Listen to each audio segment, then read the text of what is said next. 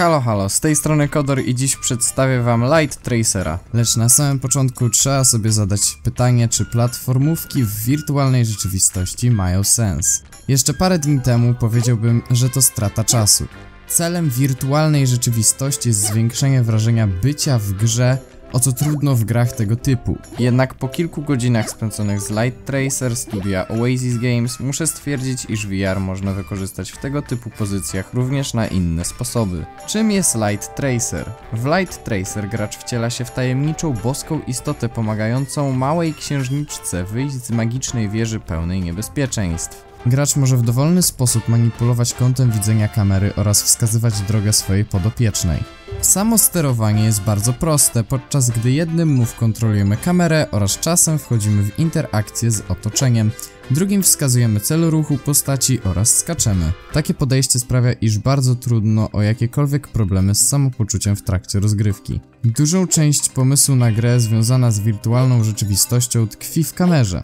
Sterowanie nią jest bardzo ważne, gdyż często to dobór odpowiedniego kąta pozwala lepiej dostrzec niebezpieczeństwa na drodze postaci.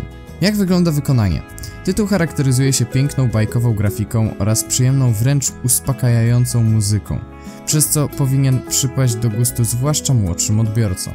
Sama rozgrywka polega na próbie dostania się na wyższe kondygnacje wieży. Trzeba tutaj manipulować punktem widzenia kamery, by lepiej widać trasę do przebycia i łatwiej unikać niebezpieczeństw jak wyrwy w podłodze czy toczące się kule. Istotne jest tutaj często wyczucie czasu na wykonanie uniku.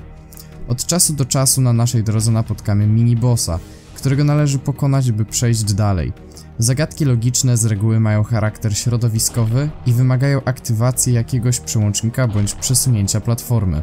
Jakie były moje pierwsze wrażenia? Po kilku godzinach spędzonych z tą pozycją oceniam ją jako przyjemny tytuł, dobry na leniwe piątkowe wieczory. Otoczka gry jest wręcz odprężająca, mimo iż elementy zręcznościowe czasem odrobinę irytują. Choć o porażkę nie trudno, gra nie każe nas jakoś mocno, cofając jedynie do ostatniego punktu zapisu. Nie ma tutaj jakiegoś limitu żyć do stracenia. Nie jest to co prawda pozycja, do której będziemy często wracać. Twórcy gry w żaden sposób nas do tego nie motywują. Poziomy nie mają liczników czasu czy straconych żyć, przez to jest to tytuł na jeden raz. Jedynie zbierając monety rozrzucone po poziomach możemy odblokować nowe stroje głównej bohaterki. Z drugiej strony 54 zł za około 40 poziomów nie jest ceną szczególnie wygórowaną.